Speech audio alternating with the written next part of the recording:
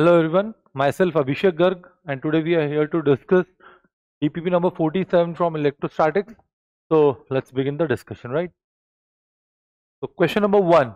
Question number one says that triangle uh, ABC is an equilateral triangle charge plus QR plays at each corner the electric field intensity at O, right? This given triangle is equilateral and this is your all the charges are equal in magnitude, right? And we have to find the electric field intensity at O.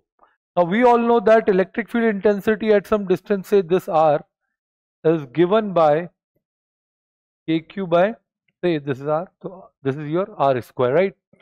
And for this, this will be, and this. All of them will be equal in magnitude and they will be aligned.